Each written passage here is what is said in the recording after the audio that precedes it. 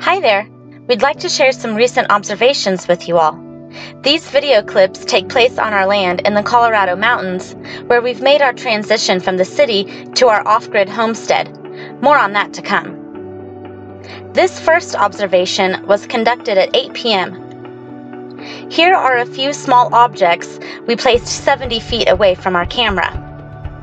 On this evening, the light from the distant objects was able to travel to the viewer and the objects could be seen in full.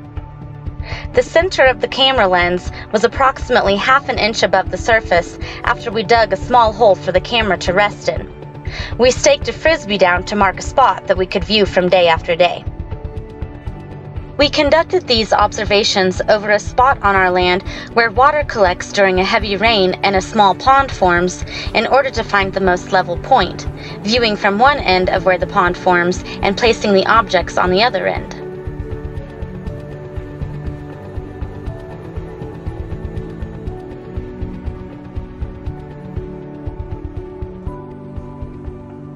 We also placed a few stakes at 20, 40, and 60 feet from the camera, each one standing 2 inches high.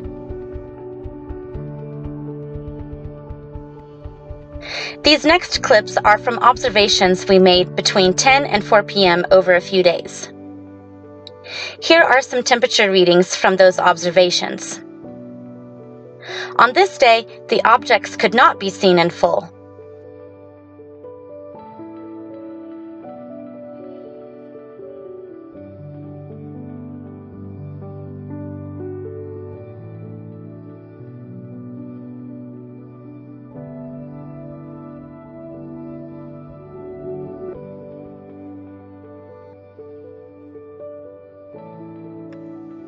Upward refraction creates a sinking effect and does not allow the light from the distant objects to arrive to the viewer in full. Like we've mentioned before, upward refraction is a common occurrence and is witnessed day after day, even in conditions with much cooler temperatures and over both land and water. We had to raise our viewing height in order to see the objects in full. Going up, Another look.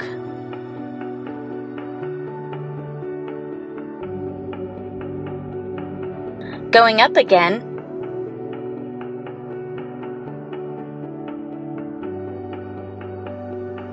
And down.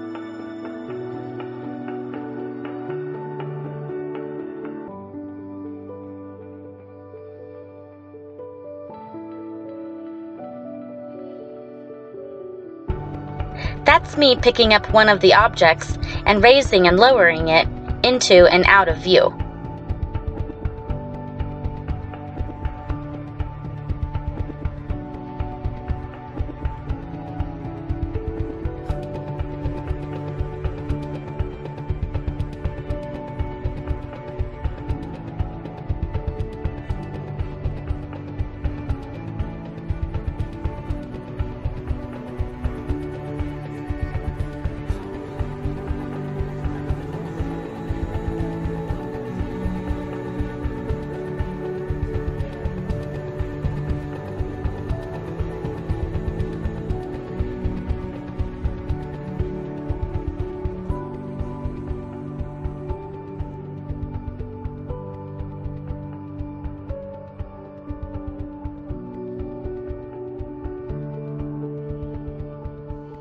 Here is another evening.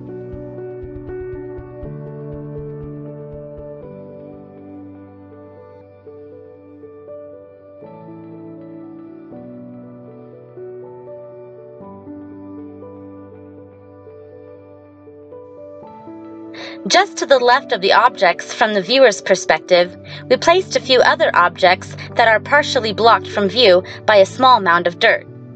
We put them here to see if we might be able to witness looming one of these days.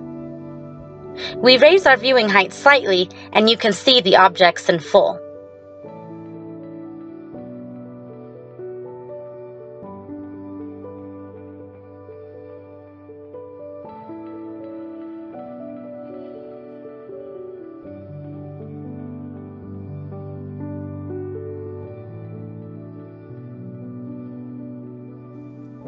On this day, less of the light from the objects arrives to the viewer.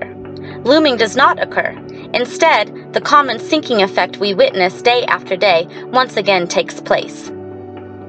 We have to raise our viewing height even more than we did the other night to see the objects in full.